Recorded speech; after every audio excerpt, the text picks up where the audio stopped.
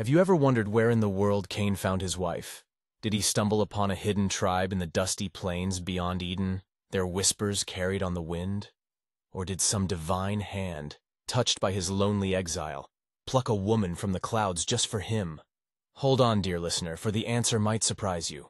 No hidden tribes, no celestial matchmakers.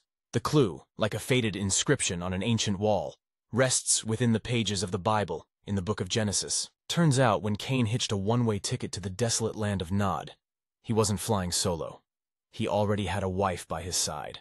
The Bible doesn't say he found a wife, just that he knew his wife. Don't picture him stumbling upon a stranger amidst tumbleweeds.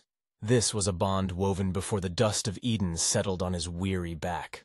So who was this enigmatic woman who shared his exile, her hand clasped in his as he walked the path of his own? Here's where the whispers of history grow louder. Remember Adam and Eve, the pioneers of Eden?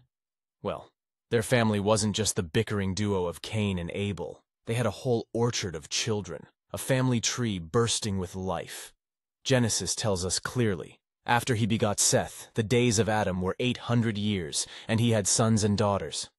Imagine Eden not as a lonely garden, but as a bustling family. If Adam and Eve were the only humans around, and if Cain didn't stumble upon a hidden oasis, then the logical, though surprising conclusion becomes clear.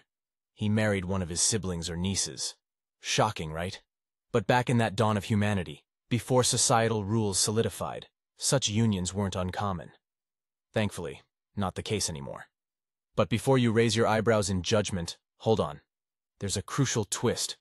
We all know the Bible forbids incest, but guess that rule wasn't laid down until 2,500 years later. Back in Cain's time, the world was fresh, untainted by the diseases and genetic dangers of later generations. So, marrying close kin didn't pose the same risks it does today. Now why does this seemingly personal saga matter? It's like finding a missing piece of a puzzle, one that reveals a bigger picture. Understanding where Cain found his wife isn't just about ancient family gossip. It's about affirming the core message of Christianity, the very foundation of faith. See, if Cain didn't marry a descendant of Adam and Eve, then the whole idea of everyone inheriting sin from them crumbles. And if everyone isn't born with that sin stain, then Jesus' sacrifice to redeem humanity wouldn't hold the same weight. Deciphering Cain's wife isn't just about ancient family trees.